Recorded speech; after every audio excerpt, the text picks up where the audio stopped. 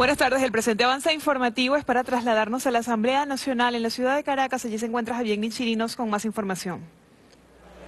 Sí, buenas tardes Lorena. Uno de los temas que se hablaron durante el orden del día de esta sesión ordinaria de este jueves 29 de septiembre fue precisamente la lectura del texto definitivo de la ley orgánica de las telecomunicaciones, tema sobre el cual se va a pronunciar en este momento la diputada del bloque de la patria, Tania Díaz. Vamos a escuchar. Bueno, en primer lugar, el bloque de la patria quiere ratificar el carácter ilegal e inconstitucional de las sesiones que viene desarrollando esta Asamblea Nacional, más aún cuando el día de hoy han incurrido en prácticas, bueno, hasta maleducadas, pero sobre todo antidemocráticas, al negarnos a los diputados y diputadas del bloque de la patria el derecho de palabra para fijar posesión. Eh, queremos denunciar que a esta hora la Asamblea Nacional estaba sesionando sin quórum, y cuando la bancada de la patria pidió el derecho de palabra para verificar el quórum existente, ese derecho le fue negado por quien estaba dirigiendo la sesión, recurriendo a una trampa eh, o a un mecanismo, un subterfugio, que fue el diferimiento del punto que estaba en cuestión. Eh, sabemos que ya es ilegal el funcionamiento de esta asamblea, nosotros estamos aquí para dejar constancia en actas del comportamiento y el carácter eh, ilegal de todas las actuaciones de esta asamblea, pero no podemos dejar de informar y denunciar ante el país además el comportamiento antidemocrático e ilegal de la fracción de la derecha. Lo que ha ocurrido hoy es un carbonazo parlamentario, no solamente porque están sancionando sin quórum, aprobaron la reforma de una ley orgánica sin siquiera tener mayoría eh, eh, presente en la, en la Cámara. Y además de eso, bueno, en cuanto al contenido de la ley, debemos decir nosotros que se está haciendo una, eh, se está retrogradando en los derechos constitucionales establecidos para la República Bolivariana de Venezuela en materia de acceso a la información, en materia de democratización de la comunicación. Miren, es más fácil destruir que construir. Ah, después de la, de la redacción a través de la, una Asamblea Nacional Constituyente de la Carta Magna, el presidente Hugo Chávez en el año 2000, apenas tomando el gobierno, emitió un decreto, el decreto 825, en el cual decretaba y ordenaba a las instituciones públicas eh, que se hicieran lo necesario para divulgar, para comprometer a los entes públicos en abrir el mayor acceso de la población a las tecnologías de la información, de la radio y de la televisión.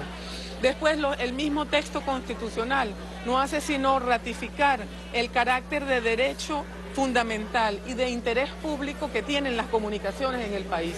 Nosotros queremos denunciar el día de hoy que esta Asamblea Espúrea ha reformado una ley orgánica de telecomunicaciones para echar para atrás esos derechos constitucionales, para violar los artículos 108, eh, 110 y 113 por lo menos, además del 57 y 58 de la Constitución, porque se trata de una reforma hecha a la medida de las élites económicas, una reforma que promueve, que facilita la creación de monopolios en información y comunicación en el país, una reforma que cercena los derechos eh, de la información y la comunicación al extremo de establecer, de restablecer, yo quiero hacerle un llamado a los colegas periodistas, porque esa fue una batalla nuestra, de restablecer la censura previa. Esta ley que acaba de aprobar esta Asamblea sin mayoría, sin quórum, espúrea, esta ley que acaba de aprobar dice qué puede decir un ciudadano y qué no puede decir a través de un medio de comunicación. Bastante que batallamos los periodistas para que la Constitución consagrara el derecho a la libre expresión sin censura para todos y para todas. Y los medios, los medios alternativos y comunitarios en esta ley de telecomunicaciones no solamente se le limita en el área geográfica, que solamente se circunscribe a la parroquia, sino que además se dice qué, no, puede decir y qué no puede decir un ciudadano a través de un medio de comunicación. Yo les recuerdo que la Constitución de la República Bolivariana de Venezuela consagra, además en, en, atención a lo que son derechos universales y a lo que es la misma Carta Democrática, la libertad de expresión para todas y para todos, haciendo ver, haciendo la salvedad de que todos somos responsables de lo que decimos. Eso lo acaban de echar para atrás en esta asamblea. Pero mire, queremos alertar incluso a quienes hoy en día tienen concesiones de radio y de televisión. No se dejen enseguecer por apetencias momentáneas y personales. Lo que se ha aprobado hoy aquí, que gracias a Dios y a la voluntad democrática del pueblo venezolano no tiene validez, pero lo que se ha aprobado aquí es simplemente entregar ese bien público de interés social, que es el espectro de, radioeléctrico y la comunicación y la información a, a los grandes poderes económicos. Quien hoy disfruta de eso va a tener que confrontarlo a futuros de ser aprobada esta ley. Quiero solamente para cerrar decir que, bueno, a pesar de todos los esfuerzos de la derecha por eh, cercenar la verdad, por ocultar la verdad de Venezuela, nuestro país acaba de darse un triunfo diplomático ejemplar en el Consejo de Derechos Humanos de Naciones Unidas.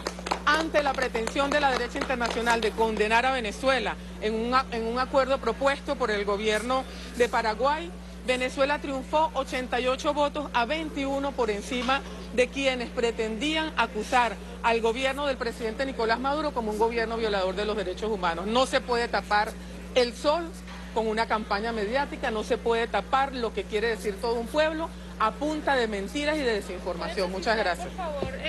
Allí nosotros escuchamos lo que eran las declaraciones de la diputada por el bloque de la patria, Tania Díaz, quien reiteraba el carácter ilegal de esta ley orgánica de telecomunicaciones que a su juicio viola eh, privatiza este derecho a la información. Igualmente decía que van a estar bastante atentos, también reiteraba ese triunfo que tuvo Venezuela en la ONU. Es parte de la información que nosotros podemos ofrecer, más adelante estaremos ampliando sobre este tema. Volvemos contigo, Lorena. Gracias, Javier, por la información. Nosotros despedimos ese avance informativo para continuar con Punto Crítico.